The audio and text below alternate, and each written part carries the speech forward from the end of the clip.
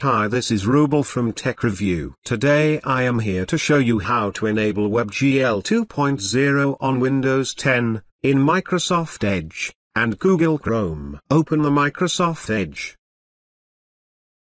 Click on three dots. Click on the settings. From the left panel, click on the system. Make sure use hardware acceleration when available is turned on. Now click on the address bar and input the address edge clone slash slash flags. Press enter.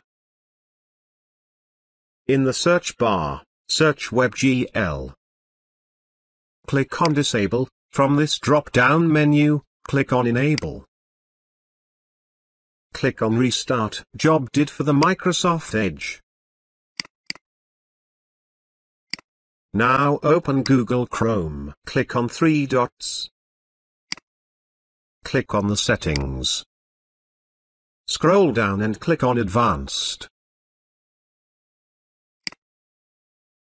From the System section, make sure to use hardware acceleration when available is turned on. Now click on the address bar and input the address. Chrome clone slash slash flags. In the search bar, search WebGL. Click on Disable, from this drop-down menu, click on Enable.